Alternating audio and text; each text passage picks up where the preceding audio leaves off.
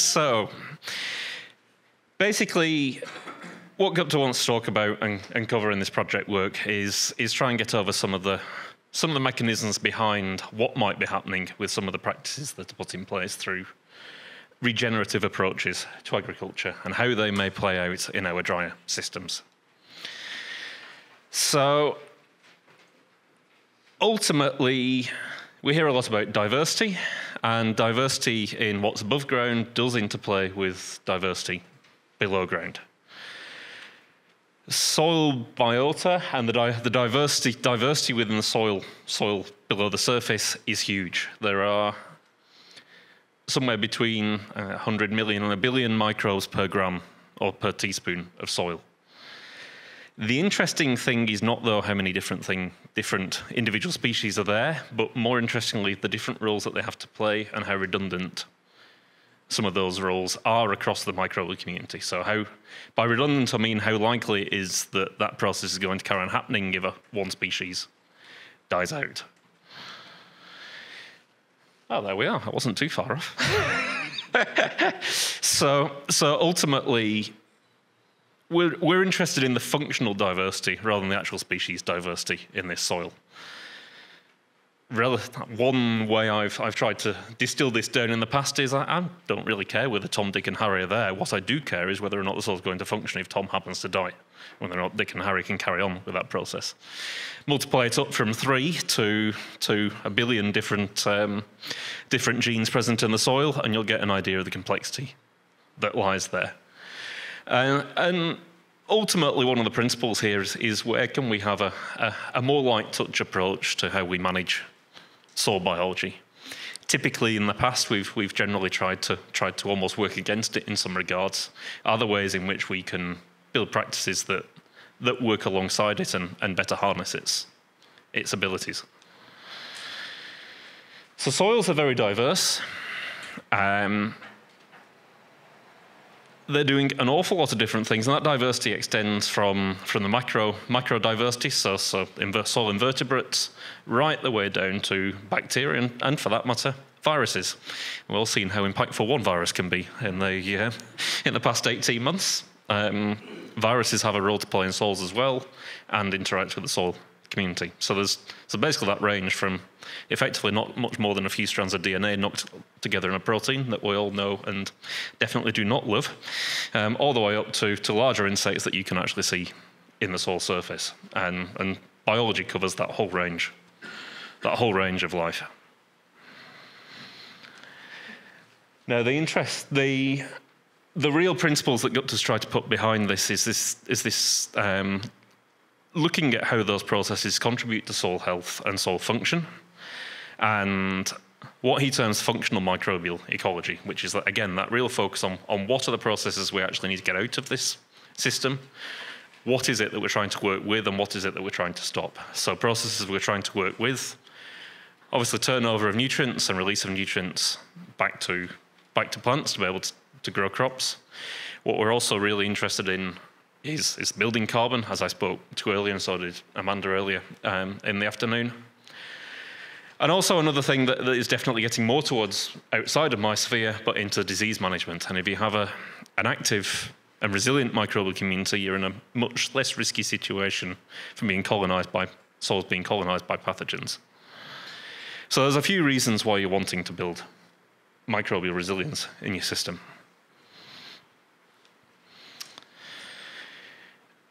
So what this project's tried to look over has been taking, the, taking a view that regen, regenerative agriculture practices are a gradient. It's, this isn't like um, a very prescriptive system like organic agriculture that, that says very clearly what you can and cannot do to be classed as organic.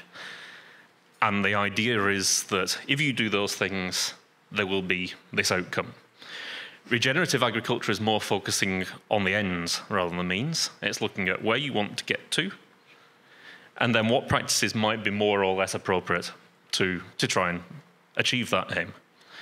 So it doesn't outright, yeah, there, there are definite practices that are discouraged. Um, and again, the difference between organic certification and being a regenerative practice is, is you know, it's not a protected term, it's not a legal definition. There are there are many shades of grey here, and, and if people did see my talk at GRDC a couple of weeks ago, I had two slides that compared current best practice dryland agriculture in Australia and a lot of the main aims of regenerative agriculture, and, and the two are not too far removed from each other. Which, which, going back to a bit of the conversation at the end of Eliza's talk just there, again, leaves the other interesting point that you've not just got the issue of water. The fact is that Australian growers, knowing how adverse the systems are that they're working in, have been doing an awful lot already. Um, yeah, one of the biggest things, certainly in, in European and American conversation about regenerative agriculture, is, is reducing the amount of tillage. Well, how long have we all been doing no-till agriculture? Longer than I've been in this country, that's for certain, um, for the most part. So, so there are a lot of different practices um, that are regen-ish, for want of a better term. And the purpose of this project um, that Gupta's involved with and that I'm presenting on today is to, is to sample key microbial indicators across a lot of properties that have got different characteristics of regenerative agricultural practice. Um, and these go towards um, things like crop diversity, um, fertilizer use, pesticide use, tillage, whether or not you're doing cover crops or encouraging ground cover during the dry season, um, stubble retention, grazing, and, and what was done was, was these scores were given at the properties for each, on each of these scales. So if we take tillage, zero for full zero till, whereas two would be, as Gupta's termed it here, old school. So two or more passes with a plough uh, within a season. Fertilizers and manures, so no synthetic chemical inputs versus high levels of chemical inputs during cropping. So there's a few different, so those, those, those are the scales by which he's tried to get this huge gamut of different, different practices and trying to get them on a comparable footing. So if we look at why, why we might want to do some of these things, tillage, apart from when it's done strategically um, to overcome specific constraints, tillage, routine tillage, basically we know it affects soil structure, it does alter nitrogen mineralization through aiding decomposition of organic material, but of course you're aiding that decomposition of organic material probably at a rate quicker than you're building it. Soil management, it's a critical source of carbon for soil microbes. So if you're heavily grazing it or harvesting it and, and on-selling it or taking it somewhere else, that's going to have an impact. Um, Crop diversity, and that's not necessarily, as I discussed in my own talk, diversity within a rotation, but rotation, diversity across rotations. So building in legumes, not going wheat, wheat, wheat, wheat, canola, wheat, wheat, wheat. Basically looking at building resilience across the system. Fertilizers, I touched on this in my own talk. They're a bit of a double-edged sword in the context of trying to balance microbial activity and indeed yield and build carbon. Um, clearly, not going to grow very much without them, but at the same time, are there better ways to use them? So this is some of the data that Gupta's got here for me to present for him, and these are the 30 or so paddocks across the South Australian Victoria regions that the project covers. Um, up here, we've got microbial biomass carbon, so that's the size of the microbial community. Um, the axes, I'll, if I can't see it from here, you definitely can't. Uh, ranging in milligrams per gram, sorry, micrograms per gram, so milligrams per kilogram, from around about 200 for the lowest, up to around 1,000 milligrams per gram, so 1%. N mineralization potential, which is this figure, ranging from, I think 4 is about the lowest, through to around about 20 milligrams per gram, presumably per hour. That must have a rate of soil. Sorry, this is the trouble with doing second-hand presentations. You don't completely get across the details till you stood in front of an audience. Um, but ultimately, what these figures show is that there's huge variability across, across these 30 different paddocks that were surveyed here. And that variability is as, is as great within regions as it is between regions. And with the error bars on some of these, they're quite large. So this variability within paddocks is also really large, just the same as the problem with carbon. Soil is highly variable. So what Gupta's asked me to do with this presentation is focusing on, on three different paddocks um, that are of interest here. Um, and you see them highlighted the 7779, 8688, and 8991, which, yes, news to me too. Basically, they're, they're, they're paddocks and different properties. They have different, man different management has been imposed on them. And working through this next slide, we can go through just how regenerative they might be. So, all, first thing, all three are no-till. That's not too surprising. Um, I wish you luck if you want to do one of these studies, trying to find one of the few people who still tills three or four times a year. Um, which is an interesting aside when it comes to the continuum of practice of regen versus conventional. Australia is already well over, probably past the centre towards regen, common, common best practice agriculture already is. So it's a bit of a false equivalence to pit regen versus conventional in Australia in the same way it might be in parts of Europe or America. Because you're already on a, on a gradient of conventional to regen. Most of Australia is already here. So that's worth bearing in mind. Um, not just are the gains harder to get because of the moisture in the first instance. The gains are harder to get because we've already been doing it far better than a lot of the rest of the world for a long period of time. So back to these three paddocks. Um, the top one, 7779, the main difference there is that while stubble was retained, it was also heavily grazed. Whereas the other two paddocks, full stubble, were either grazed slightly or not grazed at all. 8991, however, was continuous cropping as opposed to pasture. So there are some differences between them, and this is on, on the scale. And again, this is preliminary data, first of all. Secondly, it's not my data. And thirdly, the screen is almost impossible to read for me, me here. The, across the top are various different properties that, that Gupta's investigated, ranging from microbial carbon, the data that we showed, carbon nitrogen mineralization, the way through to various enzyme activities and active or available carbon. Now, in the system that, is, that has got rotational grazing um, and a high pasture part of its rotate, of the whole rotation system actually has the lowest measurements for most of these variables that we're interested in. It's the most regen-like, has the lowest, so lowest soil quality, soil health. Now, why is that? The principal message here is this grazing. Really heavy grazing, even over a short period of time. If you're, if you're taking off all this biomass that you're creating in stubble, there's less carbon going in, there's less carbon to feed the microbes.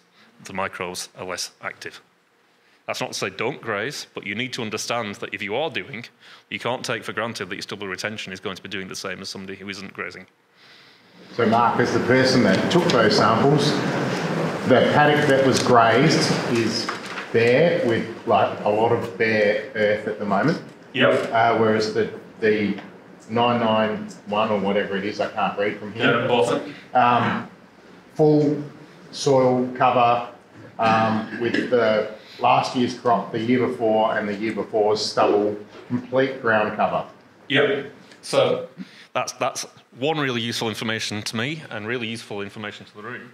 So even though this paddock, this top paddock, 7779, would probably probably come up as appearing more regen on in terms of practices being imposed, in actuality, because of how they're being carried out, these two, probably more towards the conventional end, at least in the Australian level of conventional, are actually inputting more carbon to the system and resulting in better microbial function across a whole range of different metrics. And one of those re, one of those conventional per se ones yes.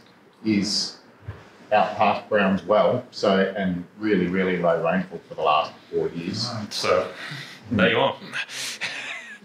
so the devil is very much in the detail with this. And another reason why, why again, it really shouldn't be seen as regen versus conventional. You have a huge continuum. And I'm actually ad-libbing a little bit here. Um, the SCARP project, the National Soil Carbon Project that Jeff Baldock ran 10 years ago, good conventional practice, um, actually ended up with higher carbon in places than really, really poorly executed um, no-till. management systems. Back then, there was still a bit, still more comparisons to be made there. So even even things like that, there is a there is a crossover with most of these things, and that's and that's the fundamental difference with regen versus either biodynamic or organic, is that you do have this gradient to play with, as opposed to just prescribing and proscribing activities in organic systems that, that might actually be taking you backwards because you're not able to apply the nutrients that you're exporting, for example. So, where are we going to from here? Um, one of the things that, that Gupta's found across these data more generally is that, is that rotation diversity is actually quite important. I suspect from a, from a farm risk mitigation perspective, it's also quite important because you have years where, where one crop, where the climate doesn't suit one crop quite so well as it does another. So it's a way of spreading your risk as well. There are other reasons to do this. But it does appear to be one of the main drivers of, of building resilience in, the, in soil function itself particularly if you're bringing in if you're bringing in legumes, as we discussed in my own talk, and others have talked about. Yeah, you, not only do they grow differently, but of course they fix nitrogen, some of which will remain in the system, and even in and even if much doesn't, because you're harvesting most of the grain, that's one year you're not applying chemical fertilizer. So the regen practices that that we've really look that really appear to be driving this. Um, it really, really comes down to stubble management and grazing. So yes, retaining stubble, great, but if, you, if you're then heavily grazing it or exporting it, a lot of that carbon that needs to go into the soil is being taken off and taken somewhere else. That's not to say that grazing is always bad, and clearly you need to weigh that up with the farm business system more generally. Um, but you do need to bear in mind that, that if you're taking off those two or three tons of carbon that are there as stubble, and, and turning it into sheep, well, that's not going to go into the soil and feed the microbes. Maybe that works for the business system, and, and I'm not going to comment on that, but nonetheless, it is having an impact on the soil in a way that might not be able to be offset by other practices that you're undertaking on the regen spectrum. Plant and crop diversity, um, again, there are many reasons for this. Disease is obviously the greatest. One, going wheat, wheat, wheat, wheat, wheat, you are really opening yourself up to problems, no matter how profitable it might appear in the first couple of years. But plant rotational, but rotational diversity does appear to have an impact on soil resilience of soil function, and is definitely something that should be looked at more. And with that, I'll thank you for um, putting up with a very poor second grade attempt at being up to. Um,